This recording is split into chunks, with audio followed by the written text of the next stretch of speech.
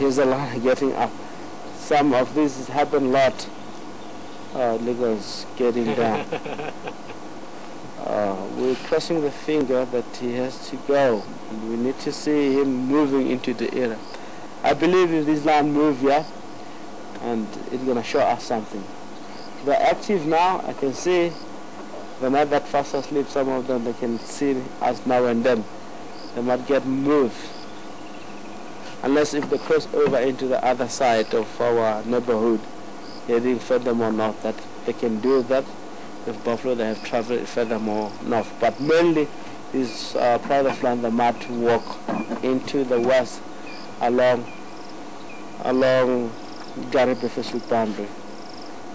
I've seen one of the behavior that normally gives me guarantee or courage to stay here, getting to see lion yawning.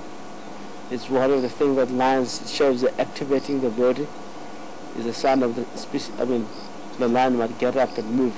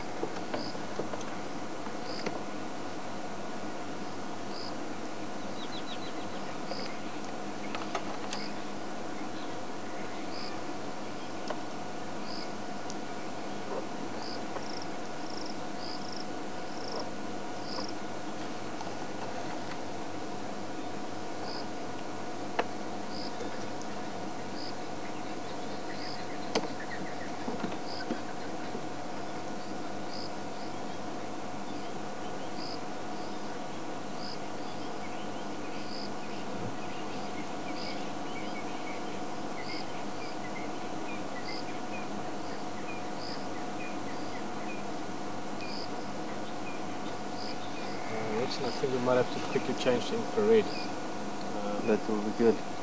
check this.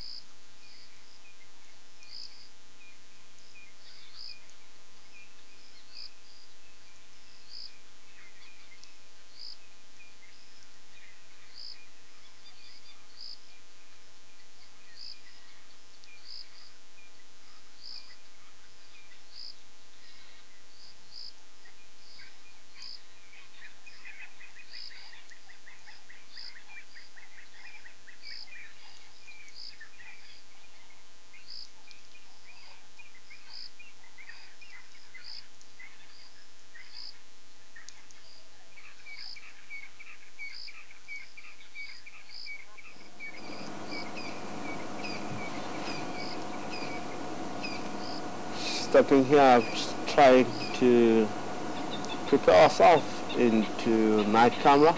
It looks like our light is getting low. So we're going to cut into Gowrie Waterhole itself, preparing for our night camera.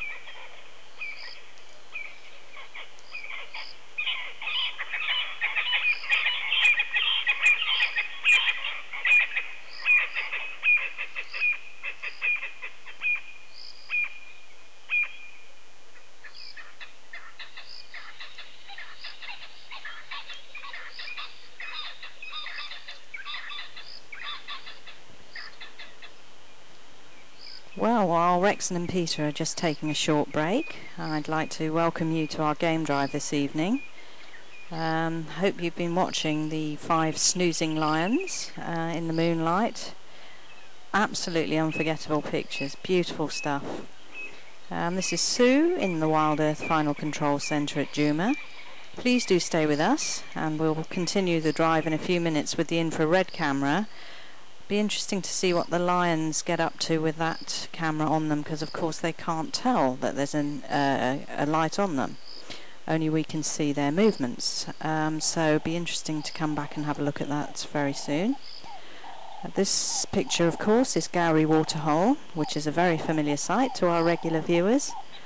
Let's just stay with the sights and sounds at Gowrie until Rexon and Peter set off again in a few minutes.